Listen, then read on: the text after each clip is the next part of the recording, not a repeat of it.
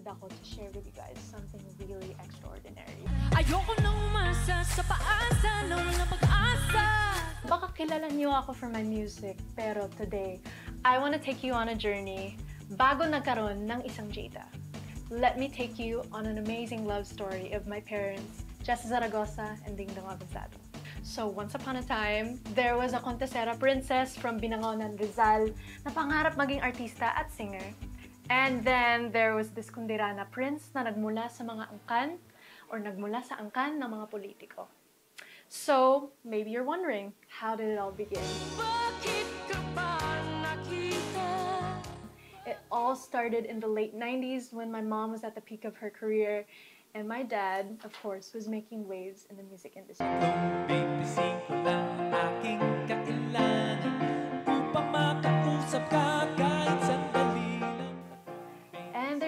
Met through their shared passion for music. At nang magkakilala sila, nagkaroon talaga ng spark. And then, so they say, the rest is history. Fast forward 23 years later, grabe, in love na in love pa rin sila sa isa't isa. And ako, I can personally attest to this. It was their musical connection na nagpatatag sa kanilang relasyon. And so, here's to the power of music and love in today's Karina interviews.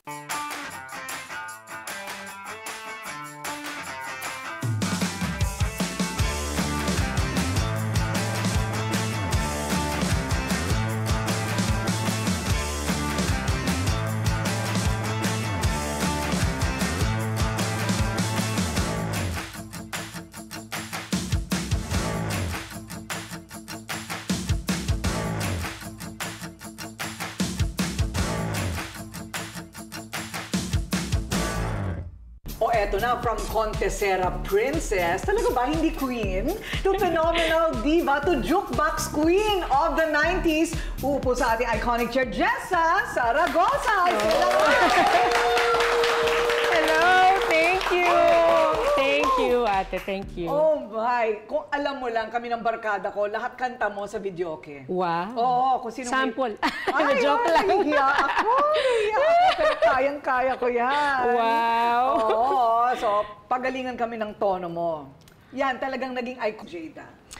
Isa lang siya. Isa lang talaga. Mm. Buti nga ikaw dalawa.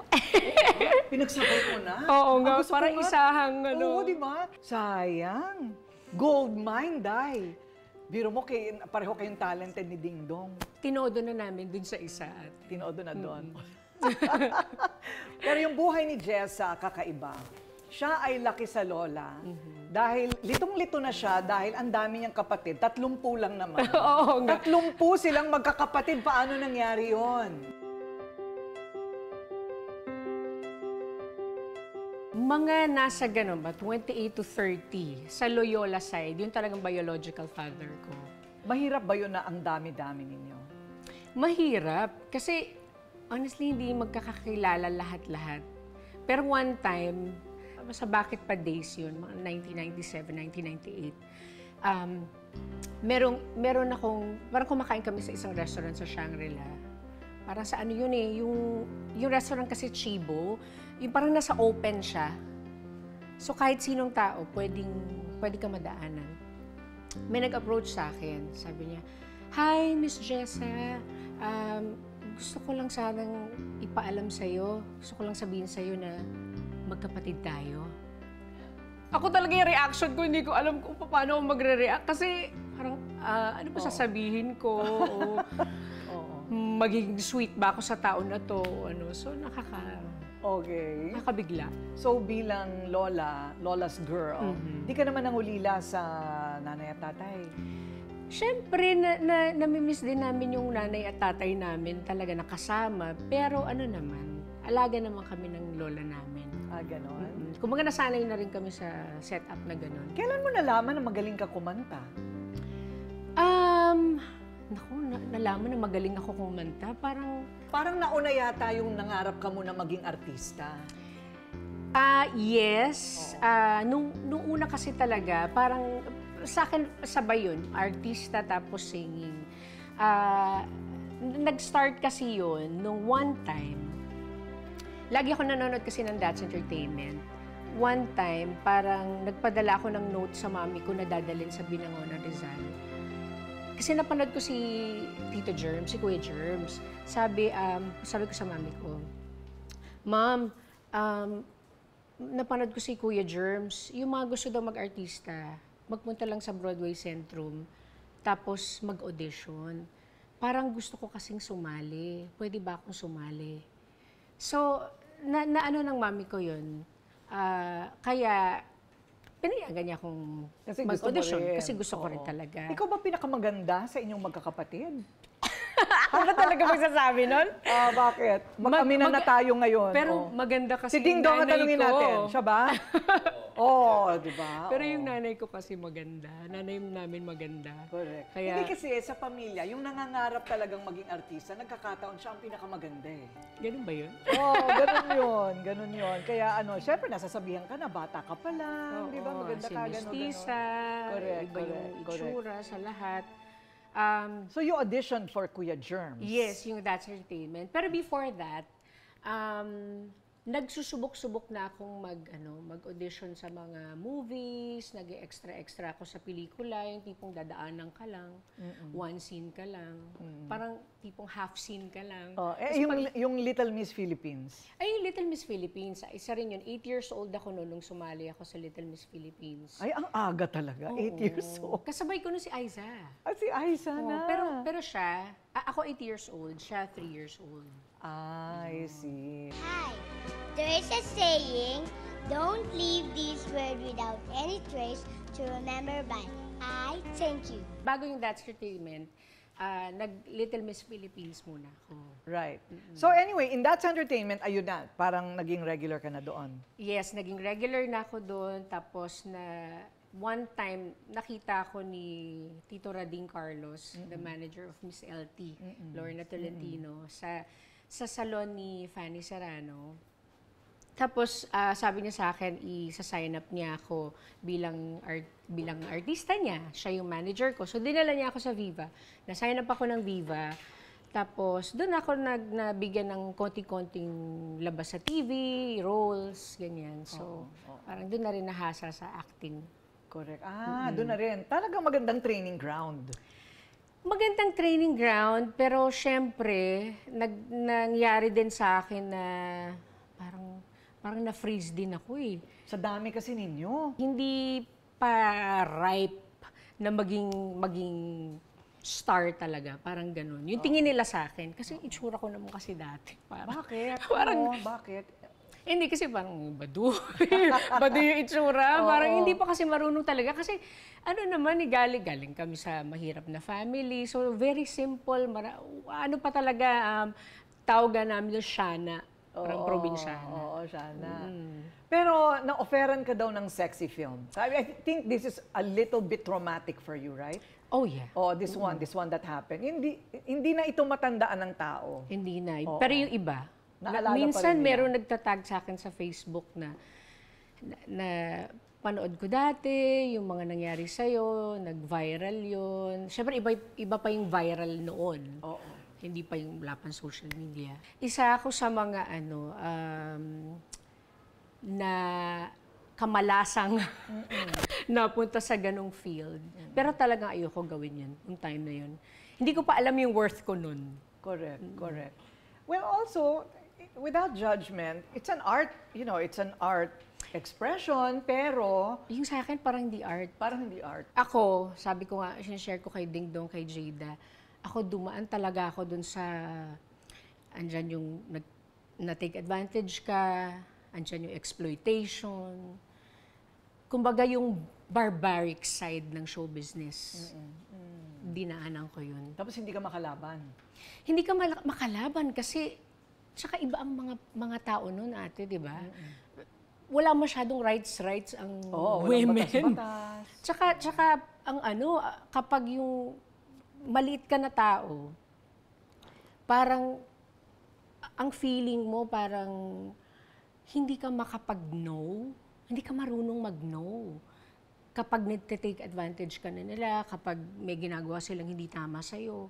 So, basta ibang panahon talaga nun, nung 90s. So, ano dun yung struggle? Yes, and iba yung sasabihin sa'yo, iba yung lalabas. Yeah. Hindi ba? Na-depress ka daw. Na-depress ako. So, paano ka naka, paano mo siya nalabanan? Sinong tumulong sa'yo? Ah, wala naman sa show, wala naman sa family namin yung yung expose sa show business. As in, mga simple lang kaming tao. So, talagang ano lang, suporta lang ng pamilya. And nag, ano ako noon, um, nag, um, pahinga ako ng mga six months. Okay. Bumalik akong binangonan, Rizal. Um, ano lang, simple lang. ah, parang wala akong masyadong ginagawa, nagpapahinga lang ako.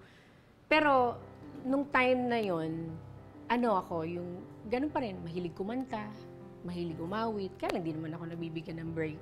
Ayun, okay. So, lumayo ka muna anim na buwan, tumigil sa pag-aartista. At nakilala si Venny Saturno. Yes. Paano nangyari yon? Um, I think yung mom ko, nagpapadala sa kanya ng mga cassette tapes na, na, mga kinakantahan ko. Kino, kino-cover ko yung mga songs.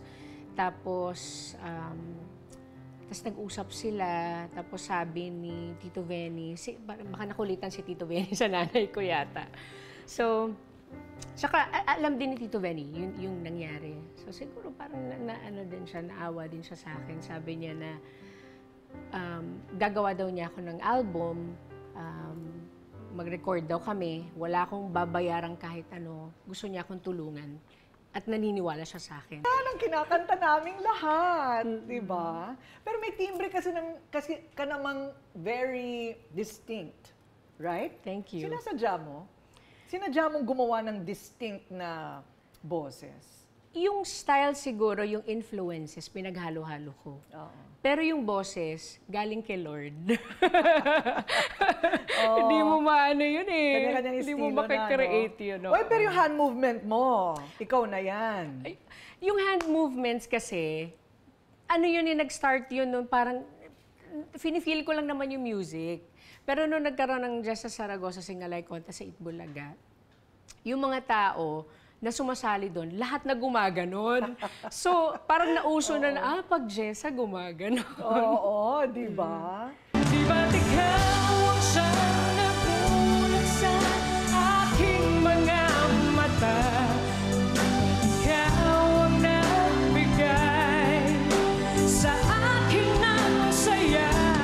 what do you think is the formula of your success? Ano yung naging formula?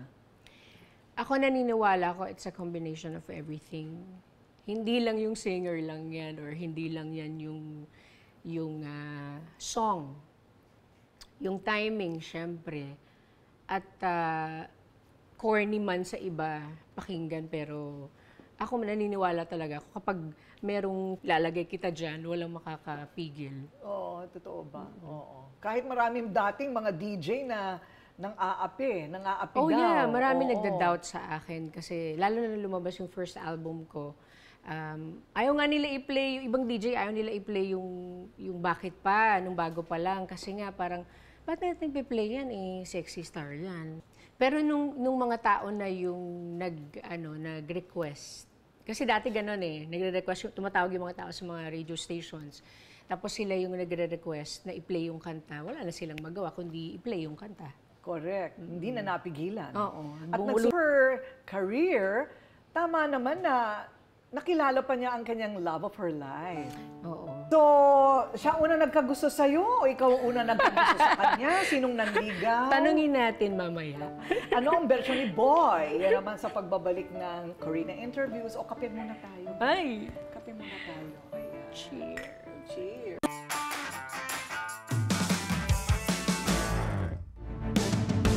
Matatag ang paninindigan. Matapang sa pagresponde. Matapat sa paglilingkod. Batikang tagapagbalita. Mata natin sa balitaan. Alex Santos kasama gabi-gabi sa mata ng Agila Primetime. Nalaman na rin ni Mahish ang tungkol sa sakit ni Jihan. Sila ang magulang. May karapatan sila magpasya para sa kanya. Wala bang karapatan ng isang taong magpasya habang unti-unting nawawala ang lahat sa kanya? Pero hindi pa rin nagbabago ang desisyon ni Figian. Gusto ko lang i-enjoy niya ang buhay niya ngayon, Suna. Pero paano kung mahuli na ang lahat? Sobrang nararamdaman kong kaba. Dahil wala siyang alam. At dahil doon, para sa kanya, lagi siyang ligtas. Akin ang kamay mo. At kapag ganun ang tingin niya, hindi niya mapoprotektahan ang sarili niya.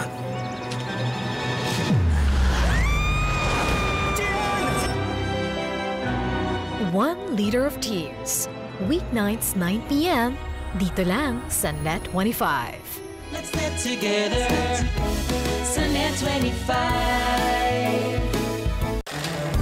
Jeffrey Amurao Geronimo, CEO of TSB International, an innovative company committed to harnessing the power of plants for holistic wellness, joins us to talk about its newest offering. Let's get the inside scoop on their unique approach rooted in wellness that meets science via Eugen Premium 20 in 1 supplement as it's now open for business. do not stop learning. Kailangan lagi tayong natututo para po hindi tayo mapag-iwanan. We always have to be resilient. Siguro sa iyo, effective ang ginagawa mong strategy last year.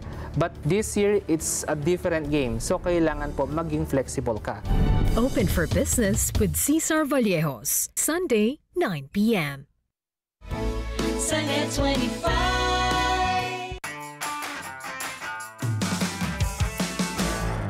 Tatlong 25 lang ang aking kailangan Upang makausap ka kahit sandali lang Tatlong 25 lang ang aking kailangan And this time, the Philippines' original Prince of Pop, Ding Dong Avanzado!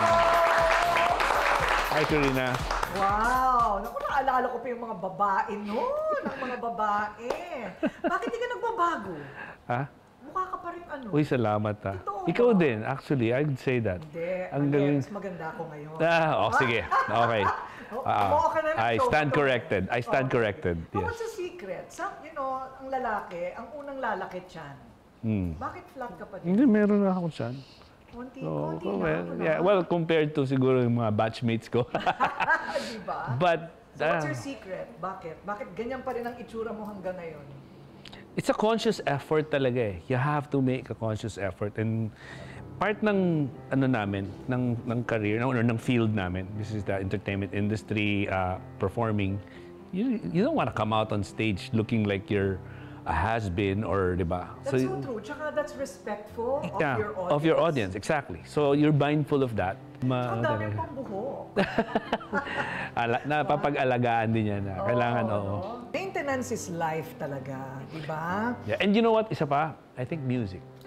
Ah, music. having music uh, in our in our lives and all for, for this time, it helps me stay fit and active and yung perspective. It, it helps you keep you Really? young. And with Jada in our lives now, kasi yung music niya, di ba, we also listen to it now kasi syempre uh, aware kami sa career niya. So nakakatulong yun. A- aware ako sa mga nangyayari. Ano yan sa bahay ninyo? Puro kantahan? Ano ba yun? Minsan, may mga ganong times. So you were born uh, in Quezon City. No, I was born in my family. Mother side is from Samar, but I was born here na in Manila, in Pasay. Okay. But uh, then I grew up in Quezon City. So when did you know na singer ka? Kundirana ka ba? Yes. so- Kundirana. Mm. Oh, kita mo na alala ko, Lasal. Oo, yeah. And then, And then I- so nauna sa'yo si Randy Santiago. Oh, medyo. Siyempre naman, no? Si Okay. Kuya, si Kuya. Nauna Oo. sa amin, sila Randy, sila Gary, Yes. and the others. No? Pero I knew that I was that I was parang inclined to, to music at a very young age. In fact, my mom was saying na ano, I was resp- playpen pa lang daw nasa ano na ako yung pag narinig ko na yung music ng yung ng Beatles, yung Obladi Oblada. playpen ako nun. Sumasayaw-sayaw daw ako sa playpen. Tapos sa bata pa lang, yun ang ano naman sa family ko. Kahit ano kami, pa- family of uh, politicians at saka mga lawyers, mga professionals, hindi nila ako pinigilan sa interest ko sa music. As I was growing up, I was exposed to it. And then pag may mga events, mga parties, di ba, papakantahin nila ako. Doon ako na na-expose na or nagkaroon ng confidence, na-develop ko yan. Na being in front of a crowd. And then, I guess you would say, when I was in uh, grade school, as I started singing, ano, doon ko naisip na, um, I wanted to, uh, pwede ako maging singer. At saka nung napanood ko si Rico J. Si Rico J? Rico J was my first pop idol. Wow! Anong kanta naman ni Rico J ang ano mo? favorite? Kapalaran. That was the first song that, uh, one of the first songs I learned. And it was so popular back, back then, di ba? And I, and I remember because he had his own antics, di ba? Yung mga Oo, hagis-hagis ng jacket. correct, ganun. And I would do that. And syempre, bata ka pa nun, di ba? I was making money off of that. Kasi pag pinapakanta ka sa family gatherings, May bayan? Oo, lalo na pag dinadala ako sa Amerika, sa States. May mga relatives doon, bibigay $1. dollar. At that time, malaki na yung $1. dollar. Oh. So hindi naman tumutulang mga magulang mo. Kasi you know, some parents are worried pag ang gustong karera ng anak ay pag-artista, pag-singer, ganyan. Ah, hindi naman sila, well, how do you put this? Kasi sabi ko nga sa'yo, they exposed, o, hindi naman nila ako pinigilan sa pag-appreciate ng music as I was growing up. But when the time came that I was, I said, I'm going to go professional. Eh, I was in college na nun. Medyo na, naramdaman ko yung ah, agam-agam nila. I don't think naman it was not that they were that they were not supportive, but they they had their reservations because syempre parang suntok sa buwan yan, hindi mo naman kung sisikat ka o hindi, di ba? Nung o-offeran na ako mag-to-go solo, that's when I had to talk to my mom. I said, um, I made ano a ka decision. na-discover na na-offeran ka ng solo? Kundirana? Hindi. ah, na-discover ako when I auditioned for the new minstrels. Ah, Next yun. generation, yung bagong generation na yun. Oh. During the 80s, yung mga 86 ata yun eh. And uh, that time, ang nakikita sa akin noon, si Roxanne Lapus at si Boy Abunda. Ginawa nila yung audition noon. Dami namin nag-audition and they were just going to choose four uh, singers. Two girls and two boys. I was one of them na napili.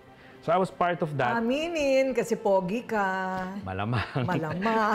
I mean, Well, I- at least aminado siya, no, Jessa, no? Hindi, Ikaw pero- ka pa umaamin. Ito, Oh. aminado ka agad. Hindi kasi alam mo, nakakatawa. Si Roxanne Lapus, the, the, the late Roxanne Lapus, who was my discoverer, nung nakita niya ako sa isang show doon one time, ah, nanonood ako ng show noon kasi si Ogie, kasabayan ko noon, nauna siya pumasok sa showbiz, backup singer si Ogie noon, ni Joan Lorenzana. So I was watching. After the show, nakita kami Roxanne, sabi niya, I've been looking for you. Sabi niya, there you are. Sabi niya, would you want to go, ah, are you interested to becoming a solo artist?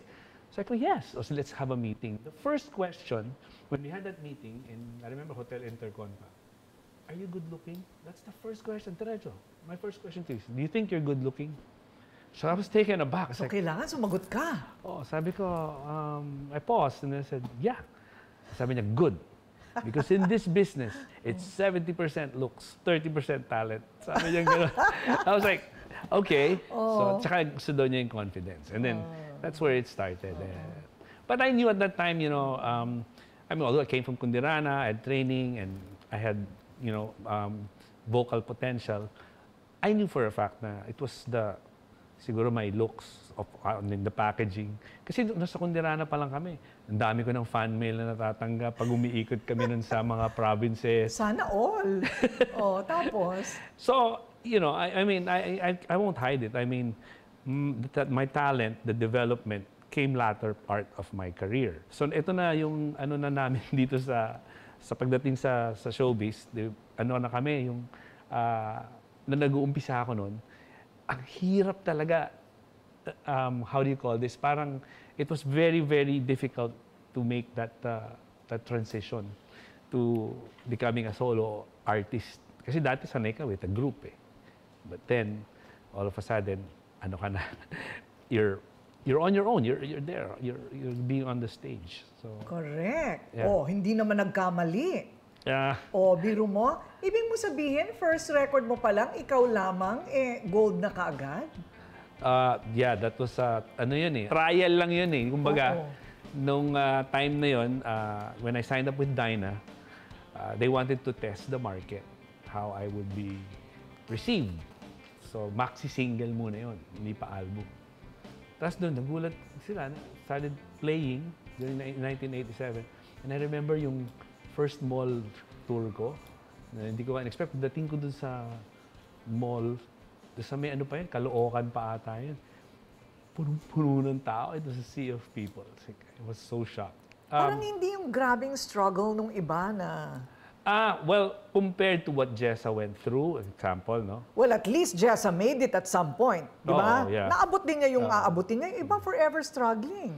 Yeah, I mean, totoo yung sinabi mo na there's really blessing talaga yun. Ah, and I'm very grateful for it na yung dinaanan ko, yung whatever that happened. But, you know, it was not a bed of roses for me also. I also had my own set of challenges that I that I had to go through and um, you know, it was not for me kasi Corina, it was never about making it big. It was about making it last. Hmm. So, Talino mo naman, naisip mo kagad yun? Nung bata ka kasi, I just wanted to, see, I was so passionate about performing. That was where I was most comfortable at. Even, and Roxanne was telling me at the time, you know what your strength is? Sabi niya, Ding Dong, when you're on stage, sabi niya, you light up. There's something about you na pag nakita ka on stage, parang nag-iiba ka, you're magnified. So sabi ko, yun yung mga words na ginagamit niya. So I was like, ah. So, I said talaga. And then, I had to verify it from those people that were watching me. And that's what they were also saying. So, hmm, maybe I really have something there. Though I knew it na vocally, I was not yet where I wanted to be. That's why I had to strive when I got to my 10th year in the music industry. 10 years na ako nun. So ko, tumatanda na ako dito. Do I shift careers or dito pa ba ako? And that was a defining moment for my career na sabi ko, if I, if I want to make it in this business or stay long in this business, I have to really hone my craft. Hindi na pwede yung looks kasi the looks will fade eventually. anong ginawa mo? I took voice lessons seriously. I took workshops on how to develop yung paano yung performance mo, yung work uh, repertoire mo.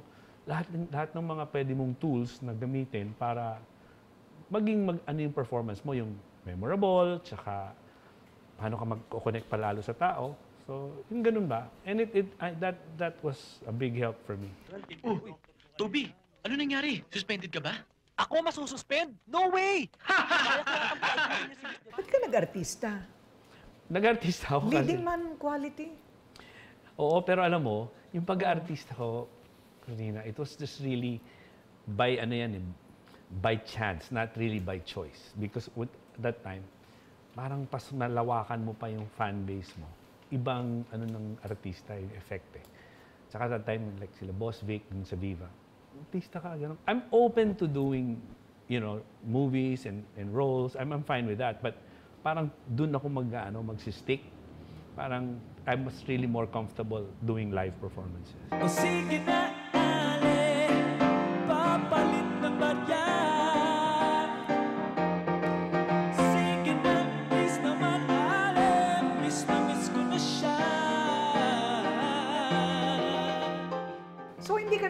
nagkamali. Ganun ka pala, no? Palaisip. Oo. Palaisip ka, no? Ano ka? Strategic. Uh, in a way, yeah, I'm, I'm, Oo. I'm like that. I, I have fallbacks when I do planning. Correct. Uh, even in life, di ba? Oo. Uh, Kaya nga eto na, politika. oh. Ba't talagang nasa politika yung family nyo sa Samar?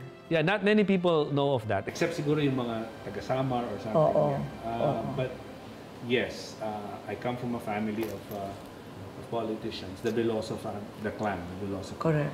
O paano ka nag-start ng konsehal muna, right? Yes, Konsehal. QC.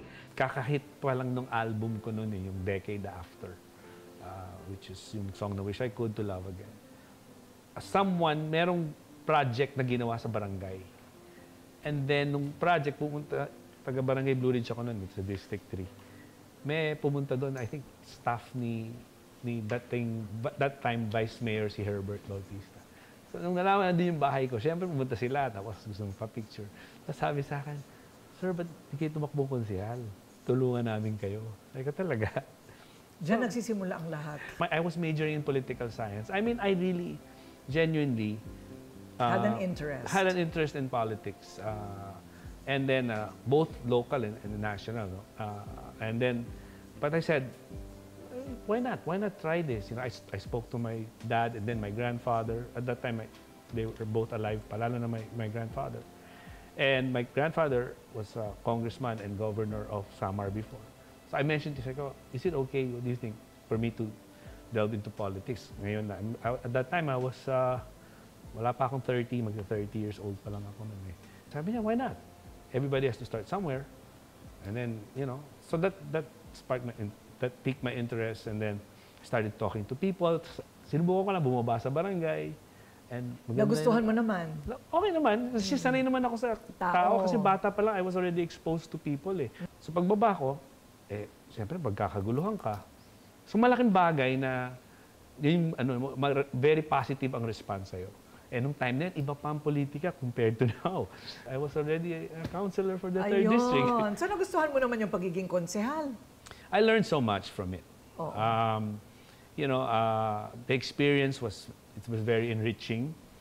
Uh, there are certain things that I kind of didn't wish wasn't hindi sana ganun, but then you, you know, you you get to a parang ano, rude awakening yan eh. May mga times na you feel like, ah, ganito pala ang politics, parang sana mabago to or paano kaya, how do you go, how do you change this, mga, syempre, yung medyo idealistic ka pa, ganyan. Isang term lang. Isang term lang. Oo. Tapos, After that, kinas- kin- nag-asawa na ako eh.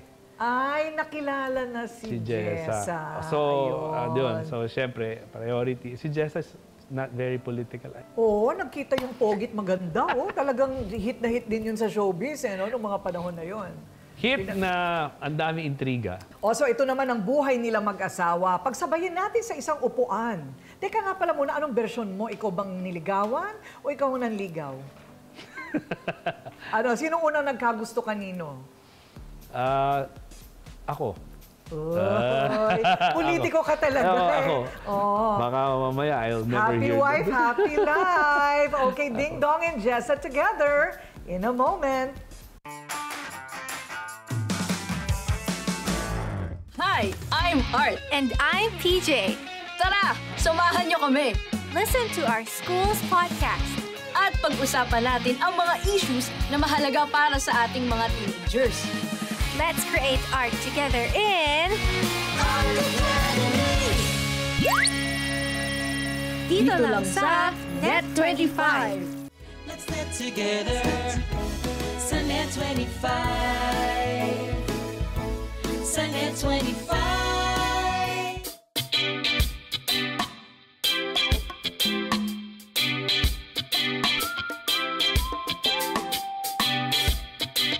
Naman na nga na ninakaw niyo ang patent ko pero nang scam pa kayo? Kayo na ang bahala daw. Sunod-sunod ang mga atake sa J. Crew. Maghihiganti daw siya sa'yo. Yun ang sabi niya sa akin. Anong sinabi mo? May magbabalik para iligtas ang kumpanya.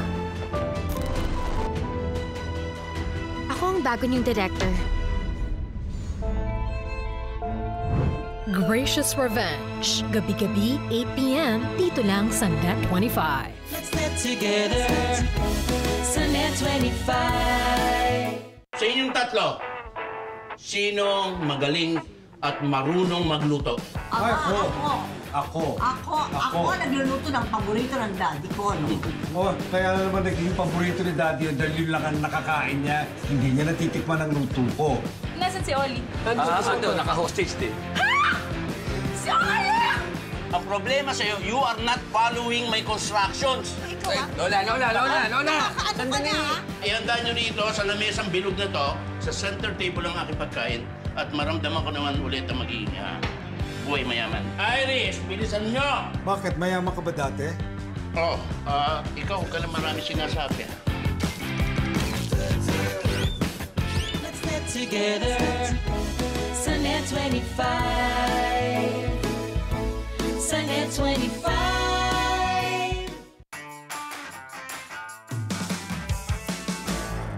And this is when the phenomenal diva meets a Philippines original Prince of Pop. Oh, palakpakan Wow. Kasi tayong location. Oo nga. O at least sa pagtug, na, napagtugma natin, talagang siya yung nagkagusto sa'yo una. Oo naman, oo naman. Uy, pero Buti naman na- inamin mo. Inamin naman niya na siya yung nanligaw. Ayan. Pero teka muna, sino yung nanonood kanino una? May narinig na ako kanina, 8 years old ka pa lang, Oh, hindi. idol mo na. Sa Eid Bulaga kasi, 8 years old, ah, ako, pinapanood ko na siya sa Eid Bulaga, kumakanta siya doon. Sabi ko, cute-cute naman itong singer na to. Pero ganun lang. Wala, Wow, wala pa naman masyadong pagnanasa, 8 years old pa lang. Pagnanasa talaga eh. Di ba parang kanta yun? Pagnanasa. Okay, so napapanood mo na siya.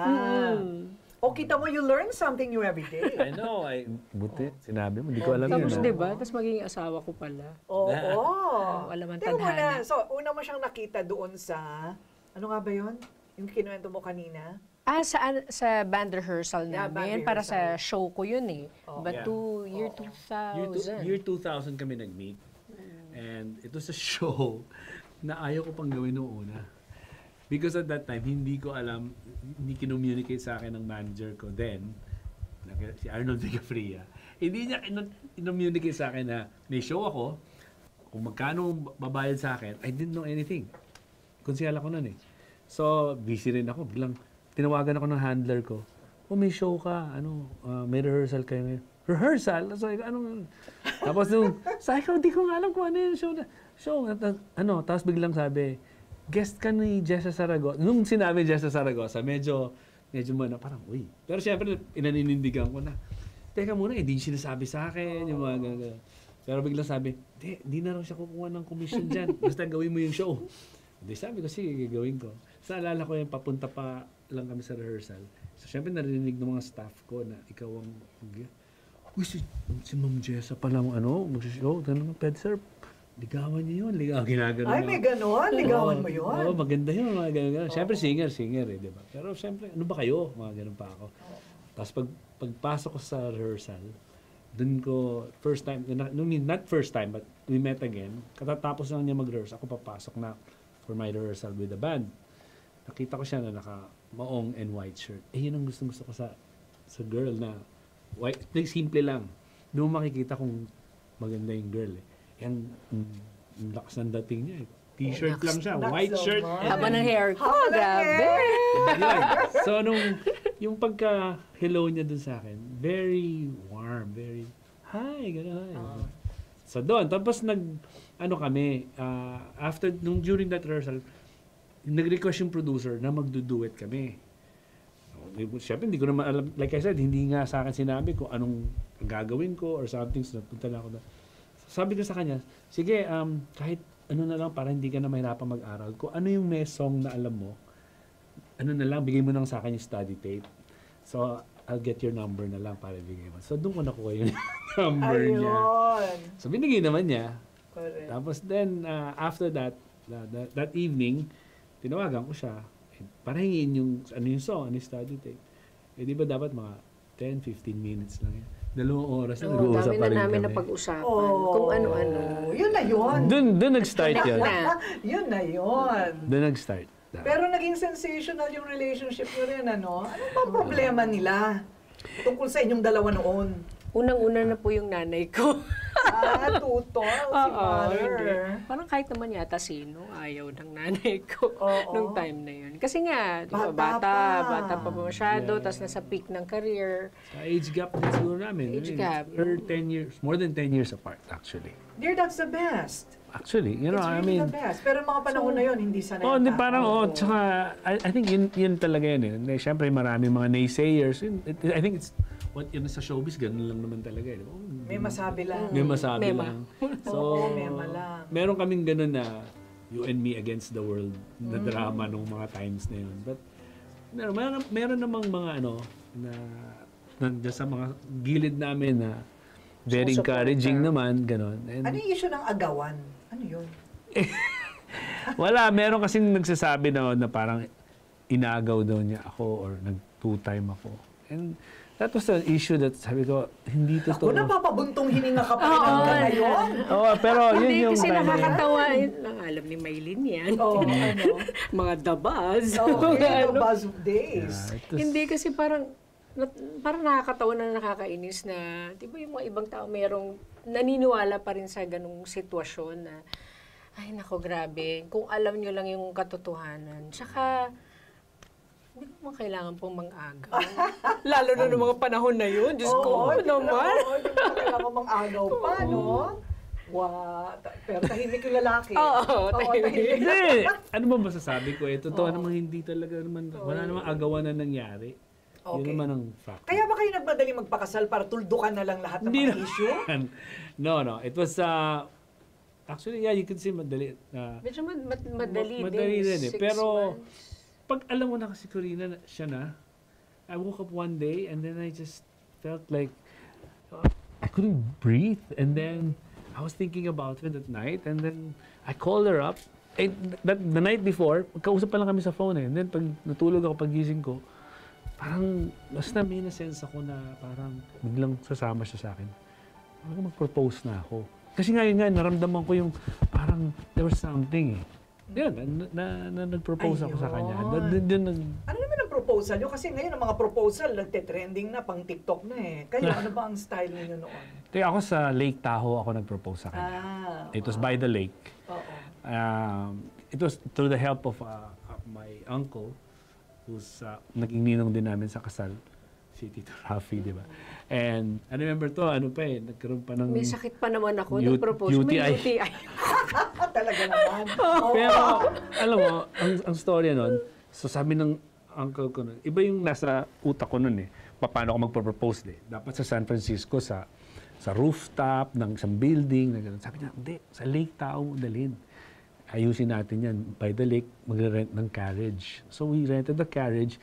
That turns out to be that that carriage was parang royalty pa yon sa England. Eh. Tapos dinala raw doon. Yung nagkikwento yung kutsero, yung nagsasabi siya na sumakay na rin doon, doon si Diana Diana Ross, di ba? Habang nagkika... Tapos kinuntsaba na ang tito ko, yung ano, yung ah, kutsero, na siya yung kukuha ng video. At least may video tayo. Oo, yung malaki, Okay. malaki pang video, no? Oo, Ganon. oo, oo. So, nung... So, wala kang duda? Yes. Wala. sagot, Walang duda. Wala talaga. Hindi alam ni mother. Wala, hindi. hindi. Wala. Wala. Eh, Nung nalaman nga hindi niya, hindi niya nga, ito, meron tong kapilya ang ginawa. eh. Kasi di, siyempre, sinabi ko sa kanya, yung, nung sinabi niya sasama siya, o sabi ko, nagsabi ka na ba sa mom mo or something? Paalam na ako. Sabi ko, eh, alam, ko, mami niya noon, kontra sa akin, di. Sabi ko, paano nga? Nagpaalam ako sa lola ko. Sa lola, nagpaalam. Pumayag doon yung lola niya. So, Ano eh, at that time, ano sila eh, parang hindi sila in speaking terms ng mom niya eh. So, parang may excuse siya na ta- tawag sa Lola siya nagpaalam.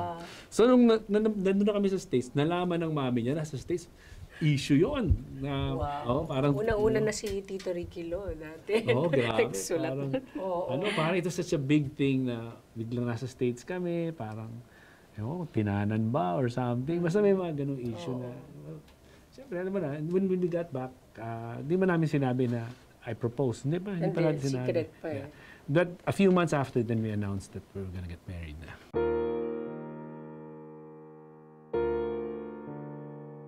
Correct, correct. So, hindi mo akalain na ang papasukin mo eh, parang hindi lang buhay sa showbiz, kundi pati sa politika. Di ba? Alam ko lang sa isip, pero hindi ko alam na ganun pala. So nakita ko, sabi ko, napakanta talaga ako nung kanta ko. Parang hindi ko yata kaya.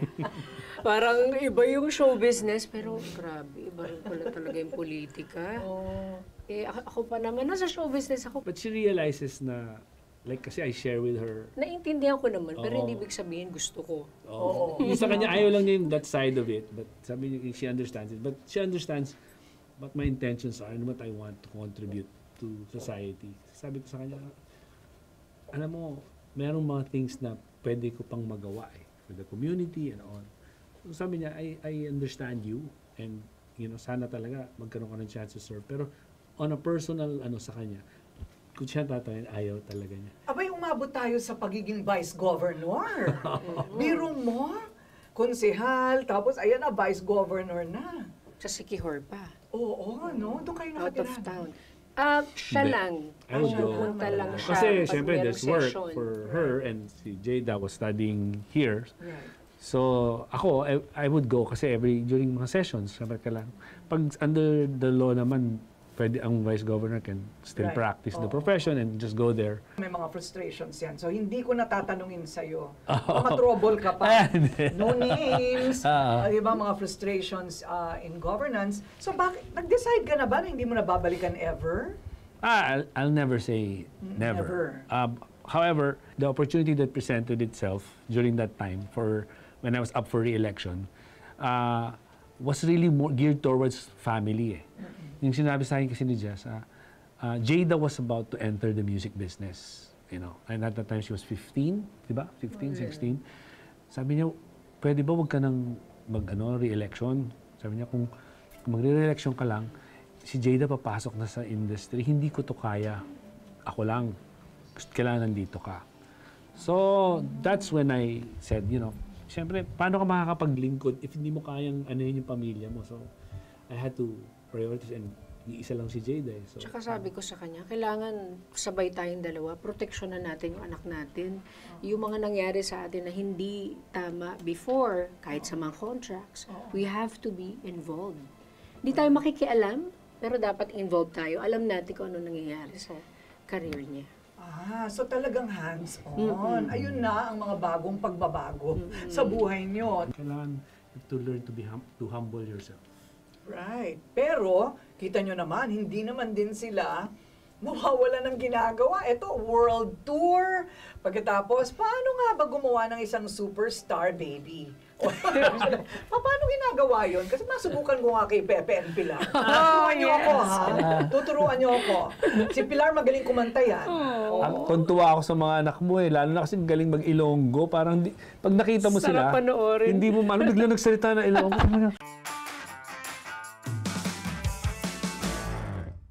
Magpahinga ka na muna. Yung mga nasa paligid mo, sa huli, gusto ka rin nilang iwanan. Wala na bang kinangang pagiging golden agent ni Jessica? Wala nang agent ang gustong humawak sa'yo ngayon. Gumising ka nga. Sandali. Gusto mo ba ng bagong identity? Sean? Mukhang hopeless din ang bagong artist na napili niya. Ang solusyon, suko na. Seryoso ka ba? Ano ka ba? Niloloko mo naman ako eh. At ano nga ba itong ginagawa nila Gino? Hello, My Shining Love. Weeknight, 7.30pm on Net 25. Let's get together. Sunday 25. Ang pinaka-inaabangang Summer Blast 2024 nandito na! Sama-sama tayong mag-enjoy sa mga variety shows, game zone, kiddie shows, food parks, bazaar, water fun, amusement rides, and the most awaited concert. Kasama ang mga sikat na banda. Angela Ken, Sean Archer, Jumanji, Kalista, Zib, Nobita, Maki, Rocksteady, Zach Tabudlo, at Rico Blanco. Tara na't sumama at isama ang barkada. Ituloy na ang gala sa April 20, 2024 sa Philippine Arena Complex, CDV, Bukawe, Bulacan. Huwag nang magpahuli pa. Tara na sa Summer Blast 2024. Masaya to!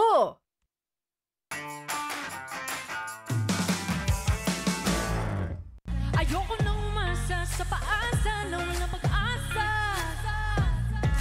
Ayoko nang ganyan Ayoko nang umasa sa paasa na walang pag-asa Galing-galing naman ng Jada. Maganda pa. Naku, meron na bang mga manliligaw? Boyfriend? Baka di nyo lang alam. Ayoko mang intriga. Mas alam ng mami yan eh, usually Oo, siyempre. No? Pero sa pagkakaalam ko, Alam mo na rin, ano ka ba? Siya nag-open hindi. Pero hindi, hindi, minsan hindi ko naman alam. Ako minsan ako huling nakakaalam eh. Totoo. Sino mas stricto? Ikaw, sigurado. Ay, kita Ah, naman eh. well, kita naman. Tsaka medyo parang nakikita ko, parang mas pareho sila ng Pag-iisip. Karakter, personality, pag-iisip. Kaya minsan nag-ano din sila eh. I see. Kasi nga, kaya kayo, nananalamin kayong dalawa sa isa't Oo, isa. So Okay. ako yung referee. I see. Wow, 20, what is she? 20? she's 20. 20. She's 20 years old. But Okay. she's like going on 35 na. Ganun mag-isip. Oh, Malaw- malawak ang pag-iisip ni Jada and uh, malalim. So, So siya talaga, teka muna. Sabi nga nila, pag dalawang doktor, nagkasama, magiging doktor din yung anak, ganyan, etc. So, nakita niya sa inyo siguro, the exposure, no? yeah. For sure yan, for sa sure. mga tours namin nung nakatira kami sa Amerika, kasi yun din ang bread and butter namin. Kasama namin siya sa tour. So, tour baby siya eh. Tour baby. So, So, sanay na sanay na siya. niya. Makita kami na sa stage. And then, This conversation, you know, I, uh, like a week ago or something, I had this conversation with Jada eh. And we were talking about it. Ano tingin mo anak, yung bang pagsama-sama mo talaga sa tour namin, malaking influence yun kung bakit ka na hilig sa ginagawa mo ngayon? Sabi niya, definitely, Dad. Kasi daw, nung, nung nakikita daw niya kami, parang it was nat it came naturally. Parang gusto ko yung nakikita ko na na yung perform oh, tapos yung attention.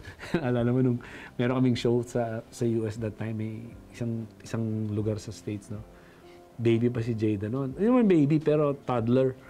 Eh, may mga bata kaming front act, ng mga bata na nagsasayaw-sayaw. Ano siya, giliw na giliw siya sumali doon. Sabi niya, can I join? Can I? Sabi ko, no, no, you can't. That's not, that's their performance. can I, can, di ba sabi niya, can I join you? Can I join? Sabi ko, ano? No, na. Sabi ko, maybe in the end. Sabi ko, in the end. Isipin niya, after the show, lalabas na lang namin siya, tapos you can say, Bob. So akala ko, eh, naintindihan niya yun. Aba, nung opening number na namin, kumakanta. Yung pal ending na nung opening number, biglang pumasok. Kala niya yung ending ng opening. Nagsayaw-sayaw sa gitna. Nagulat ako, bakit dito to? play ng instrument. But I think Voice that the, lessons. yeah, the voice lessons din siya. Siyempre, of course, to hone her skills. Pero yung interest, I mean, she's a, she's a natural talaga. Bata pa lang talaga, hilig na niya kumanta. And, I mean, honestly, I, I, the way I assess Jada, her best trait is performing live. Yun yung, wow. ano niya, yung, ah, kasi she's Strength very, niya. oo, kasi, ano siya, eh, she's very in touch with her emotion. So, you could feel it as an, as an artist. Mararamdaman mo yung, yan, may kinanta siya. Kumukonek. Teka, anong feeling? At what point kayo naiyak mag-asawa nung pinanood niyo siya? Ako, every time na nagpa-perform siya, naiyak ako. Totoo. Like, kasi parang ano, Alam mo it's her yung- time now. Yeah. Parang nakaka, nakakatuwa. Ano, I mean, there are moments that, and then a lot of that mapapa, ano ka talaga, ma, ma, ano yung puso mo, ano sa Tagalog? Maantig? Maantig, Oo. Yung puso mo, na makikita mo siya. I mean, number one, as a parent. And then, number two, seeing uh, yung kind of performance that she does, na alam mong galing talaga sa puso. Nararamdaman ko. Itong recent lang, oh, nag, nag pinost nyo ngayon, na hindi ko alam, kinukunan niya pala Kinukunan kami. niya pala kami. Pinarinig niya sa amin yung bagong single niya, Tagalog. Sabi niya, hindi pa niya ilalabas, pero uh, it's a live performance, live na kinanta niya, na nagpe-play siya. Pina, pinanood namin Panoorin sa, daw namin. ano, pinanood namin sa TV namin. Grabe yung performance. Talagang sobra kaming, we were mo- moved to tears because you could feel every note, every word Wow. na when she was saying it. Yun, mga ganong moments, uh, it happens from time to time. Ewan ko, parang feeling ko yung kapal ng boses ko nakuha niya. Oo, yung kapal. Oo. Actually, alam mo, something interesting. Kasi everybody's saying na kaboses, magkaboses daw sila.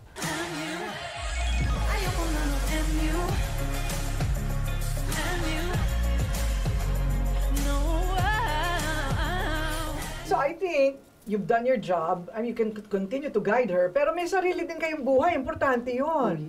Yeah, Kasi hello, babata nyo pa, no? So, oh, Ay! Ay! You better return the compliment, Ah, ay. me. Definitely. You never age. Wow. You never age. Anyway, so you are now on a world tour. Itong tour ninyo, saan saan na kayo nakarating? Well, we started with sa aking puso. The story of this is ano, it's very interesting kasi uh, during the pandemic, we had a show um, it's called Revelation. It was very ano ano yun, uh, for us very uh, meaningful yung show na yun kasi during the pandemic yung mga hindi mo alam kung lalabas yung mga tao and Walang nagko-concert. And we did it in the US. Uh, and it's the first time na during that year, 2022 ata yun, na naglumabas yung mga tao nung, nung hindi namin alam kung tatangkilik at tinangkilik. So it's a take take off from that show, yung Revelation. But iba yung concept ng Revelation eh. Ginawa namin itong sa aking puso, we first did it in LA the following year. Pero Ding Dong and Jessa, it's a it's our journey. It's our story of um, our of course done with through our music. Pero dun sa show na to, makikita mo yung ano yung mga parang pinagdaanan namin. ah, tsaka yung ano yung laman ng aming puso. Yun yung concept ng sa aking puso. So, we started with LA uh, last year. And then this year, early this year, we went to Australia. We did, we did an Australian leg. Um, Melbourne, Sydney, and Perth. And then sometime latter part of this year, uh, September, sa ano kami, Canada. And balik ulit sa US. And then hopefully, you know, kasi they love the show sa Australia, yung ibang parts ng Australia hindi namin nabisita, pupuntahan namin and then New, Wow. New Zealand and then Sa Europe naman din. Requested na nila guest si Paano yan? Jada. Kailangan natin i-post yung ano, yung kanilang schedule Oo, yeah. para maabangan Yes, sila. Alam mo? Corina, Yung sa videoke? sa Pilipino, ang gusto nila, Tagalog pa rin. Tagalog pa rin. Oo. Iba pa rin Kaya, Tagalog kasi. kaya yung title, di ba, kasi minsan, like, pwede namang English yung title mo, di ba? Which is fine. Pero ito, ginawa talaga namin Tagalog. Kaya sa aking puso tour. We have a song kasi na sa aking puso, na duet. Pero it's interesting kasi yung na-conceptualize ko yung show, ano ba talaga ang nasa laman ng, ng puso namin? So yun yung in-gist ah. Ano yung nasa puso namin? At ano ang nasa puso ng mga Pilipino? Kaya O- it's predominantly OPM yung show. Pero may halo. But it, yeah, it, it, it uh, talks about our influences, how we became the artists that we are. So it's very interesting. Kaya magandang, you know, it's just a, it's a so it's a show that you get to hear our hits, but it's we did Also it in a story. and there's a story. Oo, parang live story niyo. Yeah, it's a good. I, I love OPM. The best. The best time. Di ba? In Philippine Iba yung tagos sa puso. Oo, ay. tapos sa puso hanggang di- kinakanta ng mga bata. Sample ano? nga, sample. Ay, kailangan, kailangan pilitin niyo pa ako ng konti. Una, ano ba, ano ba itong meron daw mga revelasyon sa isang libro? Oh. Ha? May isang libro na lalabas si Jensa. Oo, pero hindi pa alam kung kailan lalabas. Kailangan wala na silang lahat sa mundong ibaba. Bago lumabas. Grabe yung revelation kasi Bago doon. lumabas ang librong yan. Oo. Hindi mo pa Eh, alam. Plano mo, plano mo. Oh, ano pa lang, ah, ah, ginagawa pa lang. Pero hindi pa alam kung kailan yung definite ano. Oo. Oo. I-announce natin yan Oy, sa akin soon. mo i-announce, ha? Ay, ate, gusto Oo, ko. oo. Ako, ako, wala akong pakialam. Hindi ako takot kahit kanino. Ayan. Oh, yeah. Wow, may revelasyon pa. I love it that, you know, people have plans for the future and, you know, parang it's a constant gardening, di ba? Mhm. Yan, nakakahaba ng buhay yan, ha? True, Tsaka, tsaka true. okay na, okay na ako. Pwede na ako magsalita. 45 na ako eh. O bakit Tsaka naman hindi? established na naman ako. Sabi nga ng nanay ko, pag gagawa ka ng mga ganyan, siguraduhin mo matibay ng pakpak mo. Ay, matibay na. Matibay na eh, kasi you're, own, you're your own producers now, right? Yes. You're your own producers, which I think is smart. So at least kayo na ang sarili niyong boss, di ba? O ayan. So maghanda ang lahat sa concert tour, yan. Sa concert world tour ni Jessa at ni Ding Dong. Thank you so much that you trusted me with your story. Thank you And for having uh, us. marami pa nga mga hindi kasama na kailangan siguro ano tatlong oras ito. Oo nga eh. Kulang. Pero sapat na yung mga kantang naririnig ninyo at syempre naregaluhan tayo ni Ding Dong and Jessa and Jada with with their music. Thank you. Thank you Ay, so hindi much. pa tapos. Meron pa Thank silang you. gagawin. Oo nga. Meron pa silang gagawin.